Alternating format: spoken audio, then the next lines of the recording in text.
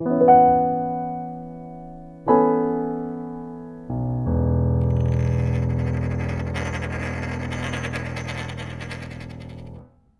Frage ist, sind diese, sind diese ethischen Normen, die wir im traditionellen Finanzbereich festgelegt haben, sind die übertragbar? Sollten wir die übertragen? Und gibt es da technische Hürden? Also, die gibt es ganz sicher. Also, und dann kommt man in fundamentale Diskussionen rein, in fundamentale Fragen rein.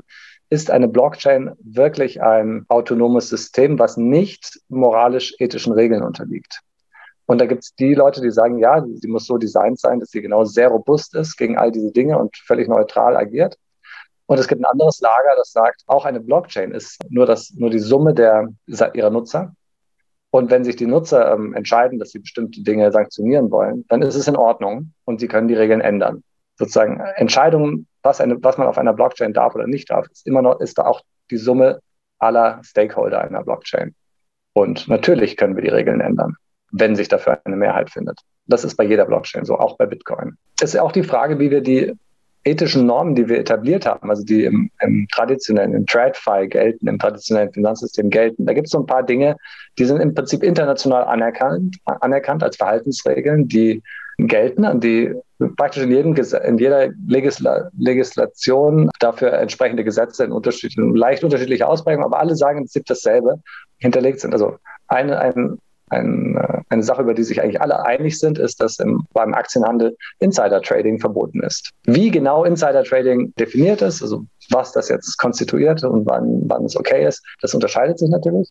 Aber grundsätzlich darf niemand andere Leute dadurch übervorteilen, dass er, dass er oder sie Informationen hat, die ihm einen besseren Trade ermöglichen, weil er aus dem, aus, aus dem Innenbereich, aus dem inneren Kreis eines Projektes einer, einer Firma kommt. Und in Krypto gibt es diese Regel ganz offensichtlich nicht es ist äh, fast schon ähm, cool, so mit, äh, mit Alpha nennt sich das, ja, mit Alpha-Leaks um sich zu schmeißen ne, und ähm, sozusagen, oder auch eben nicht um sich zu schmeißen, sie zu haben, dazu, darüber zu agieren. Und das ist nichts anderes als Insider-Trading. Du hast einen Informationsvorsprung, weil du mit dem Projekt eng verbandelt bist oder weil dir jemand etwas gesteckt hat heimlich. Und mit diesem Informationsvorsprung machst du Geld. Das ist Insider-Trading. Und hab, muss aber auch sagen, dass ich mich in den letzten Monaten verstärkt mit dem Thema Bitcoin beschäftigt habe weil ich so das Gefühl habe, und was heißt Gefühl, es ist wahrscheinlich auch Realität, dass die ganze Welt irgendwie alle Probleme, die die Menschheit so verursacht, auf Bitcoin draufkippt. Und sei es das Klimathema, sei es äh, Terrorismusfinanzierung, sei es das Thema Geldwäsche, sei es die, das Thema Spekulation. Das ist ja auch alles etwas, was Johannes jetzt gerade so angesprochen hat in verschiedenen Aspekten, wo es dann auch um die Frage geht, äh, trägt denn da jemand Verantwortung? Brauchen wir vielleicht Verhaltensregeln für alle?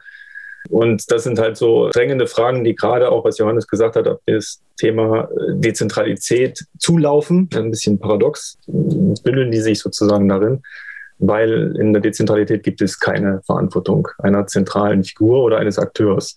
Und das ist so das Grundthema. Und die zwei Pole fand ich auch schon super, wie Johannes das dargestellt hat.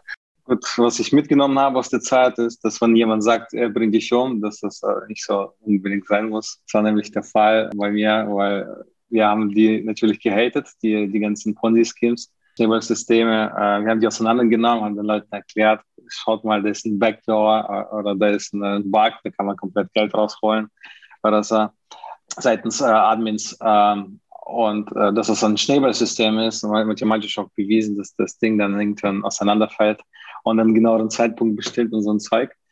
Das war eine tolle Zeit, schlaflose Nächte, drei, vier Stunden Livestreams fast jeden Tag, äh, fast ein halbes Jahr, mehr als 100 Security Audits, Livestreams. Da habe ich dann einiges äh, mitgenommen, ja, all, all die Hacks, die, die man halt so machen kann in Solidity, um Gas zu sparen, um das kosteneffizient dann zu bauen, ja. Der Ausgangspunkt von Bitcoin war ja schon, oder der, der Hauptpunkt, den es zu lösen galt, war ähm, die quasi, wie, wie verhindert man Betrug auf digitaler Ebene? um überhaupt das System zum Laufen zu bringen. Ich glaube, jetzt in, im Kern, im Algorithmus hat man es hingekriegt, aber man kriegt diese menschliche Komponente in allen weiteren Zwiebelringen, die sich darum ergeben. Du brauchst eben Miner und die müssen was betreiben. Und damit haben sie auch eine, zumindest einen Zugriff. Ob daraus eine Verantwortung ableitbar ist, können wir ja nochmal diskutieren. Aber du, du kriegst dann die menschliche Komponente wieder rein. Es ist eben nicht nur das isolierte System.